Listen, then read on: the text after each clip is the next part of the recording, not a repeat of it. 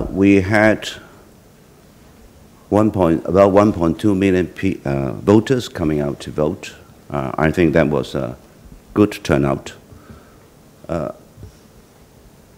first of all, I think each election uh, has its own characteristics.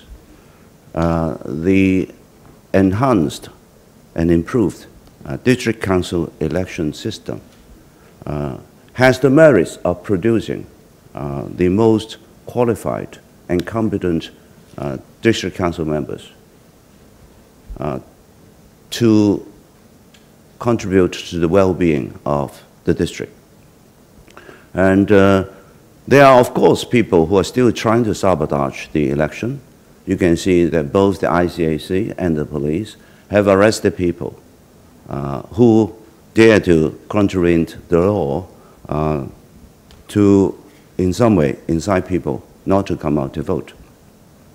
So there was resistance by people uh, who have been rejected uh, by the system because they are not qualified or uh, they do not um, subscribe to the same principle, which is uh, patriots administering Hong Kong.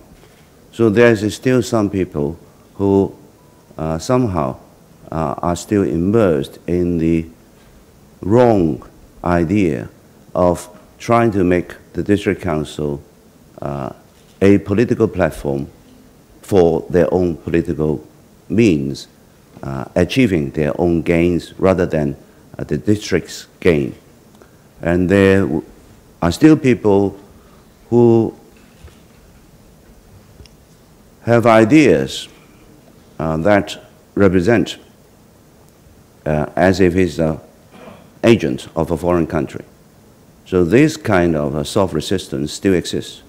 Then, of course, uh, some voters haven't come out to vote uh, for different reasons. Uh, but obviously, those who try to sabotage the election, they still exist. And of course, they will be trying to do anything they can to make uh, the election more success- not successful. But the turnout of uh, 1.2 million voters have indicated that they supported uh, the election, they supported the principles, and they supported the idea of the new district council uh, will be producing good candidates, good district council members uh, for the overall good uh, of each district.